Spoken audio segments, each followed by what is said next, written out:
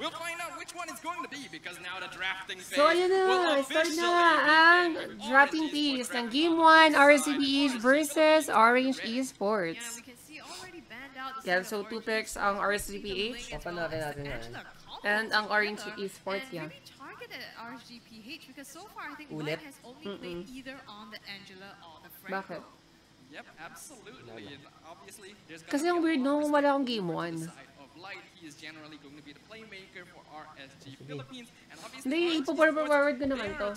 Wants to play off of that early game momentum. They want to make Bakit? sure that Light isn't Gulat ako, kala ko hindi get natin control fair. Hindi kaya lang kung panood yung 1. Mom Wala akong 1 ones pag pinanood yung game 2, controlling game that 3, tas riverside. ano. Absolutely. The mid Hindi ko stage pinanood or yung game the mid lane is very, very important here in this matchup. We all know how Light plays that Franco, and also Light. goes for the side. Hi kay Isa Pauline, Paguragon, kay Erica Alexis Valdez, and kay Rachel Macaranas. Just by controlling that mid lane. So yan, game number rotations one, in the early RSGPH stage, versus and RHE objectives. RSG Philippines though, they look for the one-on-one ban again, respecting Oh my balance God, in dinopen pa rin nila yung. Franco But ni Light. up for Why? Kaya daw nila, boss. Or hindi nila afford mag-ban ng Franco pag first pick. Hindi mas pinili nila mas, ban ng, ma- mas mag-ban ng Angela ng, ng Julian. Nagjo-Julian ba yung RCPH? Parang hindi ko pa nakikita. Parang hindi ko nakikita ang this pang pang hero siya or pang playstyle siya ni Aqua. So most probably it's either si Nats or si Demon kahit ang magjo-Julian. As Wow, that away from Nats. Inagaw na kay Nats. So may may Bea pa and may Franco. So far we haven't actually seen Born display a very large hero pool. Esmeralda is going to be one of his best heroes. So since they know they're contesting that with RSG Philippines, ano, it's understandable that they would want to prioritize True. that away. Pinili na yung ano, It's Esme. Do understandable naman yung Esme. So to, sana, pero sana binan pa rin nila yung it's not. ano. It's not. Like, uh, yung Franco Philippines currently, kesa Angela. up Franco and Beatrix is what I think they are going Kasi to do usually na naman ginagamit ang Angela pag may the lane. Di ba? MSC. combo. Tapos kung plano rin naman nila mag-first first pick Esme, parang parang kaya naman ng Esme yung Angela. Kasi di ba ang awkward din kung sino yung sinaniban ng. Angela. Na hinahabol ng Esme, parang mas lalo lang mamamatay. Umabot ng 3 picks yung ano, third pick yung Franco Kaya nga, no. Mas pinili nila yung Akai and yung Beatrix. Yung Bea Giban yan. Yung Akai, nakadama na mag-Akai sa Demon Kite. Hmm, Hindi pa yata. First time yata yun. even in EXP, you know, Yeah, parang first time yata, ewan ko, I don't, di ko napanood yung laban ng RSCPH sa group That is stage. the flexibility of the hero, and one of the big reasons why Akai nowadays is being prioritized heavily. And because RSGPH are flexing it in this way, not allowing Orange Esports to find out where exactly this hero is going to go, it does put a big question mark on their head. If you ask me personally, I'm thinking more Satyr, over- wow. You guys, you can hear the crowd. They see The na yung Atlas. Ano yung ano? Malaysian pala yung Orange Esports, kaya pala sumigaw. is huge. Ah, baka kilala tong Orange Esports na Atlas gonna main. Again, there's just going to be a lot of pressure in that strong side. They can play. Uh, they have a lot of global presence as well with the Xavier. Sure, Oh. it hasn't really worked off a lot in this tournament. Success rate or the win rate of Xavier. Parang Atlas main sitting yata at a tong Orange Esports, eh. percentage currently, but I feel like Orange Esports they can definitely execute this game plan. The thing is though, RSGPH they can still pick up the Franco here. Yeah, they definitely can, and it will be instead a Thomas first prioritized for the EXP lane. Which Thomas for Nuts. Bagay kay Nuts kanina talaga ni Nuts yun Esmeralda, eh, Thomas. uh, Th- Thomas is pretty much a lane bully. You can get that early game advantage. Oo nga no, Digi is open. Maganda yung Digi against ano, Atlas, man. Solid, solid yung Digi. and I think Miracle, we also talked about this in another game where you know your matchup so well that you can abuse it to your advantage. Able to know these heroes is always going to be important. Ah, even hindi when nila you're ino, playing yung against Franco, them, you have inano to nila, inayaan nila ng ganun. Hinahayaan nila yung. Franco. Kasi yung naka-Atlas sila, baka gusto, akala ng ano, ng Orange Esports, ay, hindi na magano yung magpa-Franco kasi may Atlas na. is Parang ganun yung nag-research. nila. Or baka ano sila, confident sila na kaya ng Atlas. Nila yung Franco. Ayun lang yun eh. Either, feeling ko ayun lang yun talaga. Mindset nila kaya. Ka, it's either kaya, pag ginawa ng RCPH pa rin yung Franco, kaya ng ano, ng Atlas.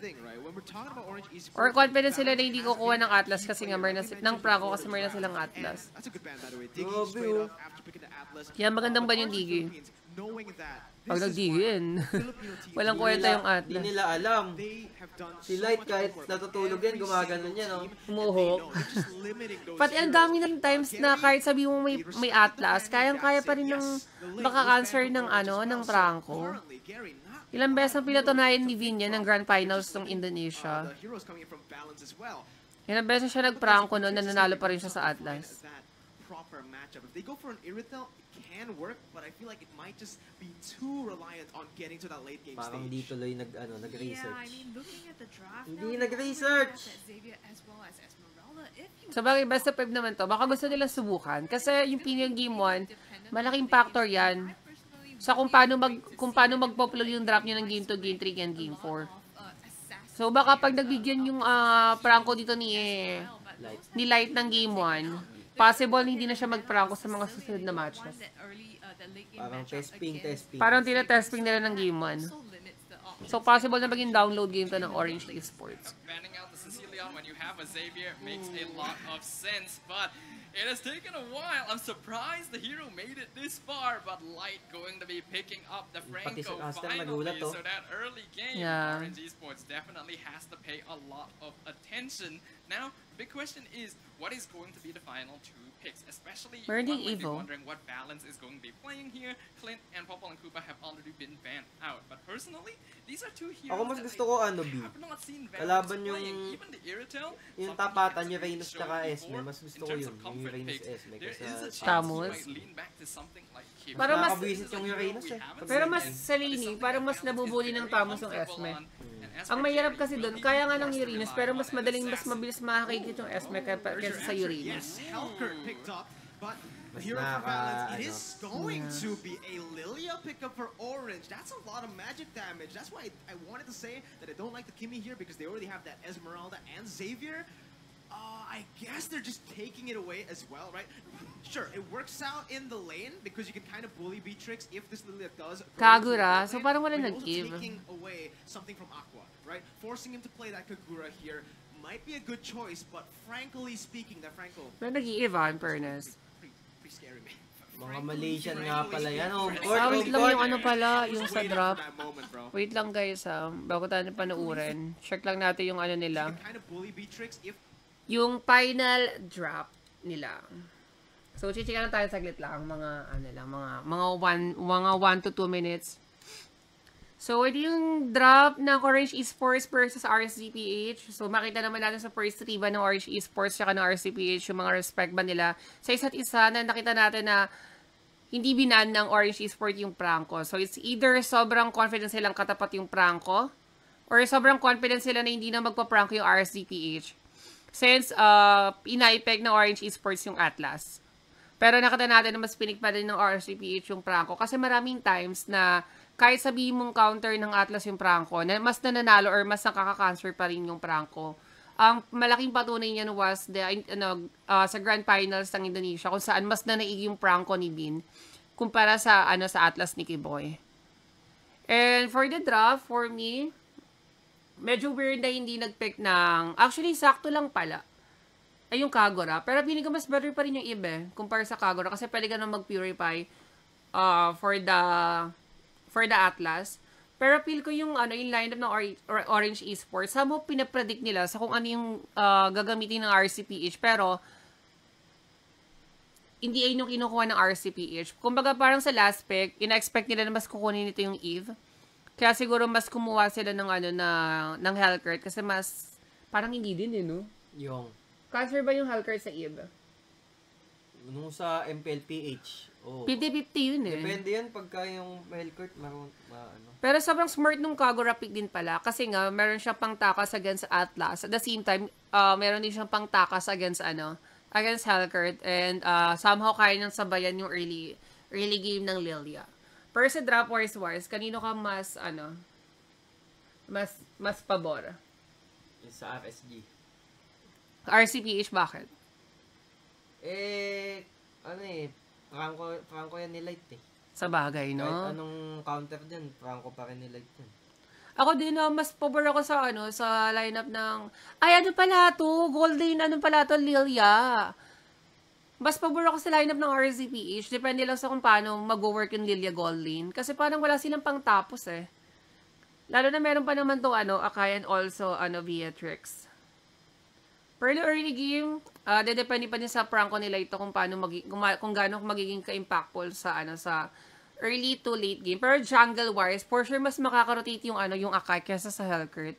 Kasi parang hindi naman counter ng Hellcurt yung Akai, no? Mas counter pa nga ng Akai yung Hellcurt.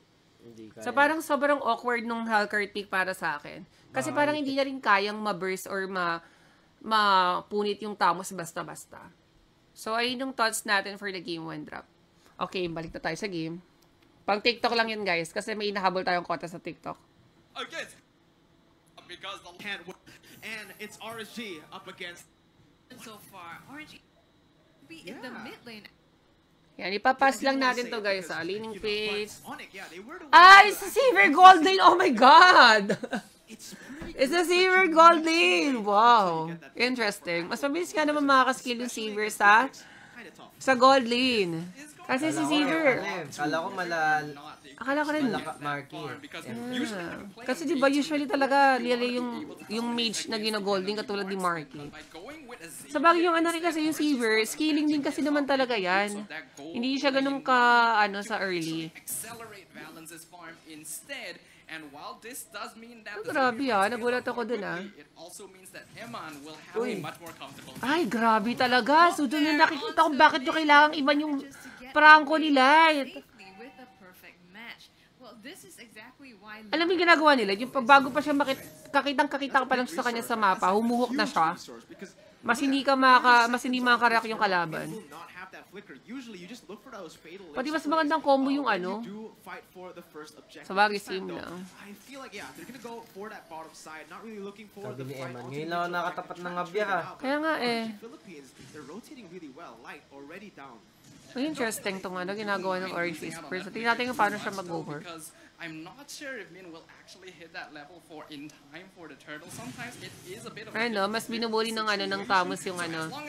So, ang nangyayari dyan, present, ang tendency, Kaya para for me, mas better yung Tamos kaysa Uranus. Kasi mas maka, ma- mas, ma- mas merong ma-presence yung may Tamos. Grabe naman talaga yung hook, man. Pina-assist ni Aqua. Si Aqua versus Man. away here Aqua for Man. Min. Si Aquaman! Ta- ang talino mo dun, Waes. Si Aquaman. Si Aquaman. popped Ay, yun lang. Nag-level Aqua. 4 yung ano, si Light, kaya nakakagat dahil sa turtle. Parang hindi ko nakikita talaga na mag-work yung Hellcurt against Tamos, There tsaka ano, against Akai and also Kagura. Siguro sa prank, oo, okay yung Hellcurt, no? Kasi hindi mo basta-basta makakagat yun eh. Yung Hellcurt eh. Feel for that Beatrix. So Hellcurt going to have a tough time. Even here in the jungle, Nats, oh, just going for it. Under the turret, pops the vengeance as Ay, well. wow, ng, Still getting out, ng but saver yung blue buff. Wow. yeah, quite scary for Uy, nag-figure RNG si na- sports. si They're Light. already being put on the Parang ML na. ML ngayon yung RCPH, a ko. No. right now, but Labo niya yung ano, will kala niya.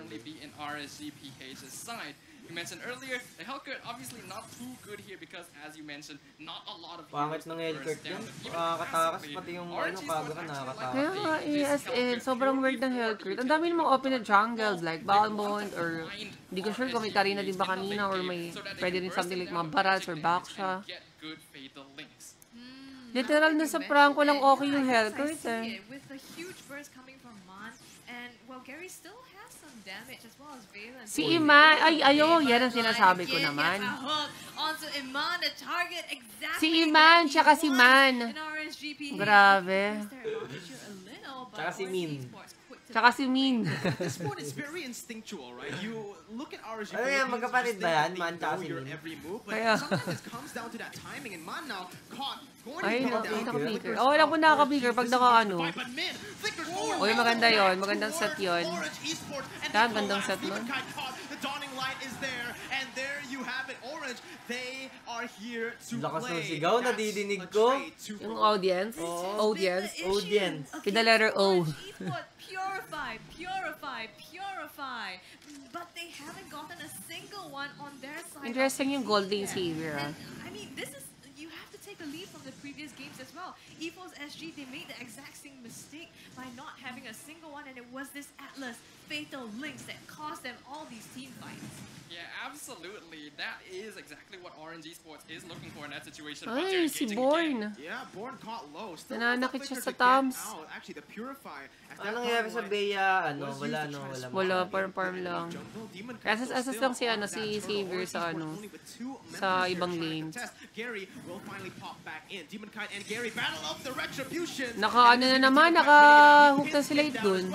RSG Philippines gets another one Grabe. on the board. Man, Pero may assist yun locked eh. down there. He's trying Pero to walang the Indian kaya patay pa rin. Just diving in will be able to secure that kill. Born takes one trade, but he is going to lose his life. That's Unat. going. Unat, Actually, these members away. Born might actually be able to win this one. Both teams just Dahil sa ano yan, dahil sa San Xavier, medyo na-awkward yung ano, Very good RSCP. job of buying a lot. Gagi, naka ano si Nuts? Good use of Hunter sword. That Gary isn't able to Hmm, the interesting. range Parang dami siya, parang kiluwas to ah. Gusto talagang i-1v1 yung ano. Buti naman, sakit, oh. to Ang angas ng SS nun eh, ni the Alam mo ba? Ano bang ginagawa ng SS Tamos? their Ano, pagka nag-SS yan, ano, this lumalaki siya. Ay, legit? the draft that they have, Di ko alam yun, teams promise. Don't want Man to have that reaction time or just the time in general. Uh, to pop that black shoes. If you can just initiate on him, lock him down, burst him, it's gonna be really good. But here you go, Light going for the bloody hunt. Yeah, and already Min has just Eh, been hindi siya totally, down to ano, counter yung Atlas. by Light, but Depende pa just- din sa Lalo lasa pagka, ng ano, ano. parehas magaling. Right, they have so True. much CC on the side Parang of walang RSGPH. lamang. Depende pa rin sa lasa Right ng magagawa ng as well. Franco, And no? set up for all these burst damage in team fights. Light, look at him just again and again throwing out these hooks. Even if they don't catch, it zones out so much space for the team. What we do still have to be careful of, though, is that this Atlas, even if he is dying a lot here in the early game, all you need in the late game is that one big fatal links. In terms of items right now, we can see that the cores on either Totoo side nga are naman. already completing Pag their Atlas, first kahit life. lang best na Something mamatay sa early, unusual being built Pagdating ng mid to late game, isang fatal links na maganda lang kailangan niya. That's just he's going for that DHS, just cheeky damage in the early stage of the game as they just have full control of the oh. turtle side here.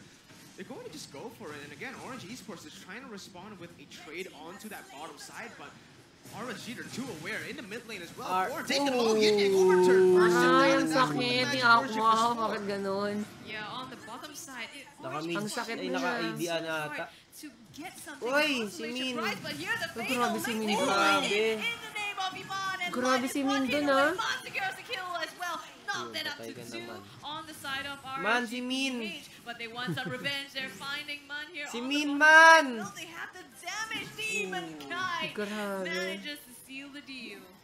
That's just unfortunate there for RNG Esports, but they are actually able to trade reasonably well despite being 3k behind. Ang in weird terms na of lang yung physical damage do ng have to Orange give a lot of Esports. respect to that fatal links, but now. Nats is the one being targeted. Yeah, Nats, he's in a 1v3 situation, but that's RSG coming in for the backup. Nats still surviving, and it is going to be another 2 for 0. Nung mahalaki kasi Tamus, grabe.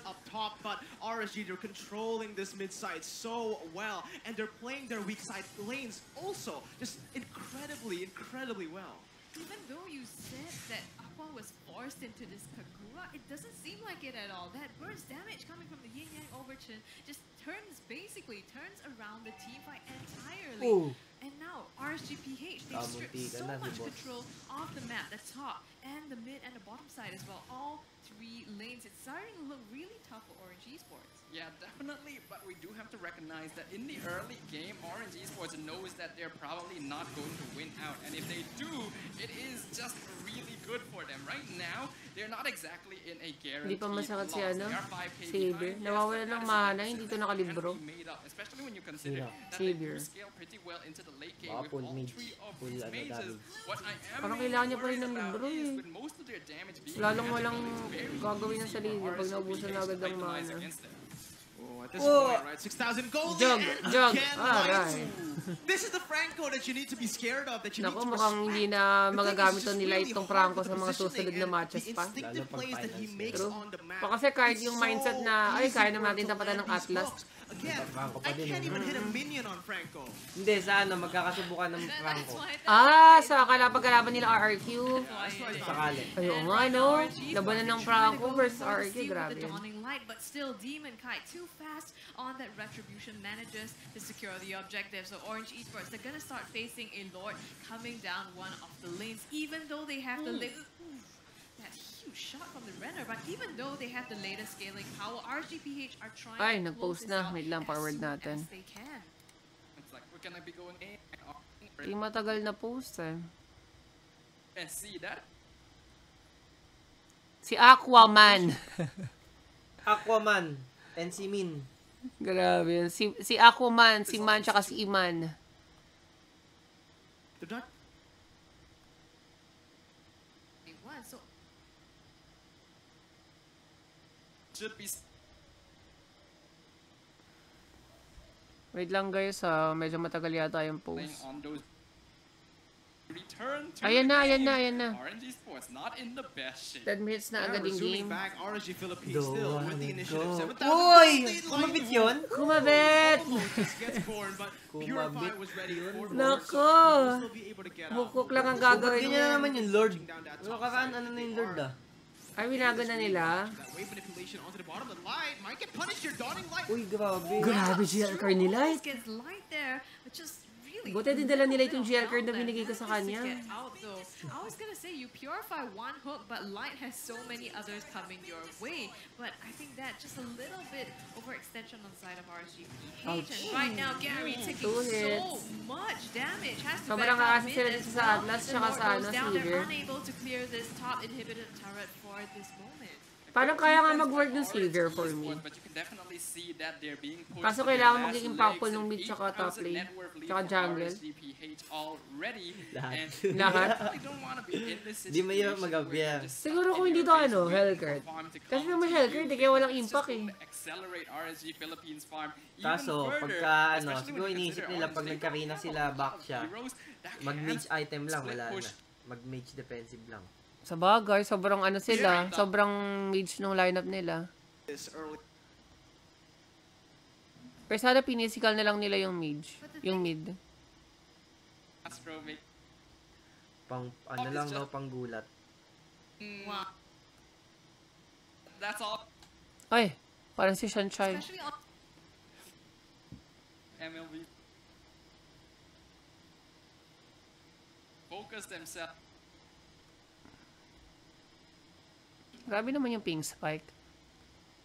already positions right at the purple buff here of Orange Esports, so denying even more far from them at this stage of the game. Now we're 11 and a half minutes in here. 8.6k golded. Kaya naman tong yan ng Orange Esports. But as we said, In Orange depth pa. Esports, Ano? what are their odds now with Madali this lang late mag-push game pag ako eh. composition? Pati pag may ano, no?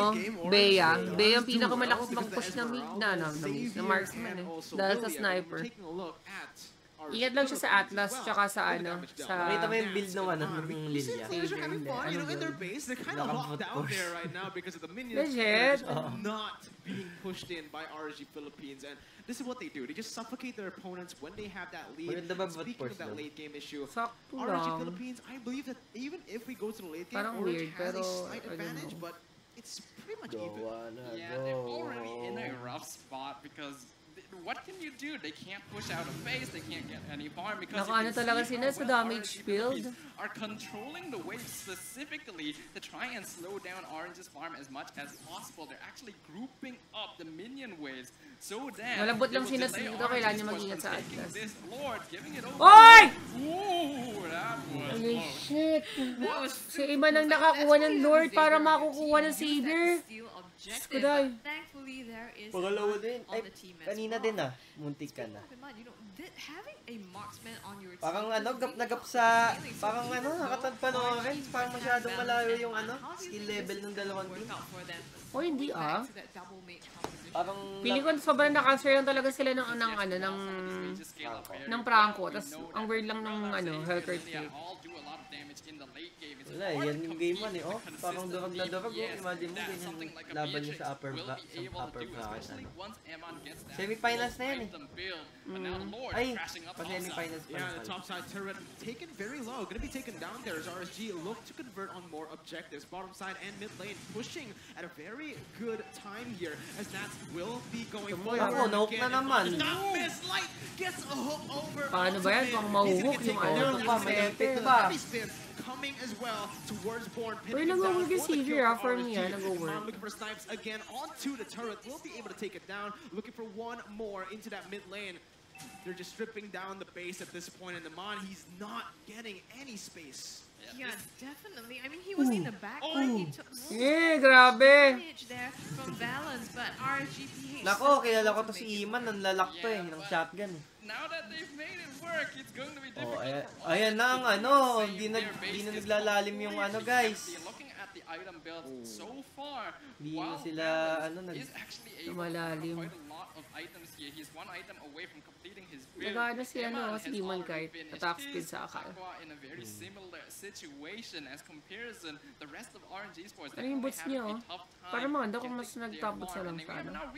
Or sakto lang yan. Ako gusto ko normally top when boot you're a lang, Franco, dami you don't want to ako hook. Atlas because that is a naggaganyang clicker for boots, eh. fatal links. But they do so much damage that Uy, literally cannot survive. Oh, the that damage coming in, Kaso, the ayun, ang ganda ng ano. response, They managed to get Aqua as well as Iman. It is a Ang ganda ng 3-1-2 kagad doon ni Light. Grabe, kung hindi nakagad ni Light yun, pili ko mauubos tong ano, RCP. Lalo na namatay na si Iman tsaka si Aqua lang silang bawas para sa ano. Para sa Savior. Grabe yung kagad ni Light doon. Promise, sobrang clutch doon. Sino kinagat? Yung ano, Savior. Tapos naka-SS pa yung Hellcurt na anong kinagat niya. Ano ginagawa ng Hellcurt, oh? Gary shuts down Nav. Kind in Damage? light left, and he actually banked the defense. The minions, they're helping him too much. Heavy spin Ah, down naipit! And they shut him down, but they are far too low. Demon Demon, kind. kind, he tried to end it. He does in the process. He manages to make orange Grabe. They ano, kung hinit na yata ni with yun, una pa lang. There pa kasi sa konti. Hindi ko napansin. clear out all the lanes. They can technically use this moment to go over to Lord. I think they have to at this Or point, right? mo na nila yung Knight's spawning in Hellcurt. 20 seconds. They just need to make a desperate play because if they go and just tower defense again, it's not gonna happen a second time. Wala silang pang MLB Lord. fans, I have literally never seen this before in my ML career. Let's have a look at instant thank you so much kay Nord. Thank you so much kay Madam. Nord. Super thank you. and RSG Philippines are just And good night, good night. na. We can just outnumber masakit. Sports and Parang wala pa rin bawas eh, kahit parang naka-physical na siya eh. of damage because of that. Both Light and Sayang mo, isang hit na lang, oh. But Man comes back just in time. Honestly, if Light had just stayed Buti pag there, ito natalo pa yung RC nang dahil doon, ang sakit na naman One sa hit ulo was niya. all they needed to end the game here. Uy, ang Orange ganda ng Esports pwesto gonna ni play. Aqua. It's going to be Aqua. Nako, Just zoning Gary. Gary out. The Dark Knight falls. Gary gets out, and they're actually able to pull back. That's now going in onto Min with Aqua there. Donning light connect Wala, on Demon JP Kite, ang but it ano. is going to be Min taken down. Demon Kite getting the Lord as well. Two for zero. Parang GG na RSG. yata They're to. looking for the end now. Balance trying to do what he can. Hook Iman- flicker! Alam na alam mo He ah. goes in for the hook. He gets the prio target. Balance is down. GG. And RSG with a double kill onto Iman. Will Yan, take GG, RSG. Oh my goodness. Wait lang, leg na ba? Game na ba yung number 2?